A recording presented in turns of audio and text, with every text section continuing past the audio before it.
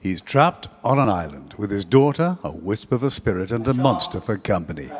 He's Prospero and he wants revenge.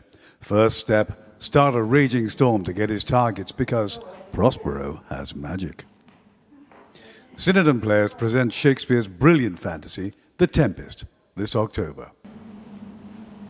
Then thy hand, and take my magic garment. Step into a dream world where vengeance vies with virtue. Lie there, my art. So the thing that surprised me most was perhaps how angry he is for much of the play. I never quite thought of it like that. He, uh, we, we know he's got wonderful verse, fantastic moments in the play for what he says about himself and the, the world he's living in. But he's, he's a very disturbed man. Sit there. See his daughter Miranda encounter her brave new world.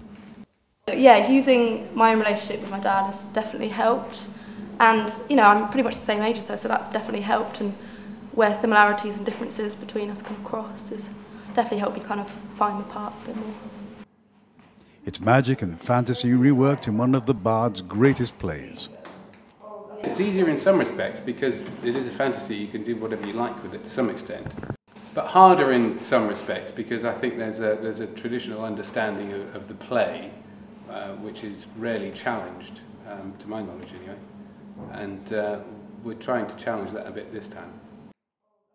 The Tempest at the Corn Exchange, Wallingford, from October the 19th to the 22nd.